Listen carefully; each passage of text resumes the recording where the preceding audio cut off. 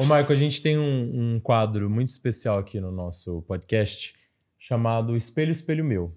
Esse quadro ele é oferecido por um dos nossos grandes parceiros, a Mer Aesthetics, que é uma empresa que valoriza muito é, o passar dos anos, a maturidade, entende que a gente pode ganhar muito com todo o nosso amadurecimento. E aí eu quero te convidar agora para participar desse quadro. Olha. Esse espelho na mão, porque eu quero saber e eu olho para ele. Exato. Diante desse espelho, que imagem de Marco Antônio você vê hoje? Olha, primeiro, né, trabalhador, né?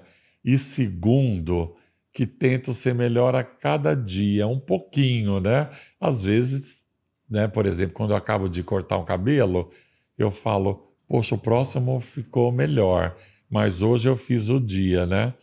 E que Sucesso e dinheiro não vale nada se você não viver e ajudar o próximo. E às vezes, gente, muito mais do que dar um cheque, né? É você parar e simplesmente ouvir. Ou abrir um sorriso e dar um abraço, mas aquele abraço que abraça, gente. Não é abraço de madame, né? Para não tirar a maquiagem e o perfume. É isso.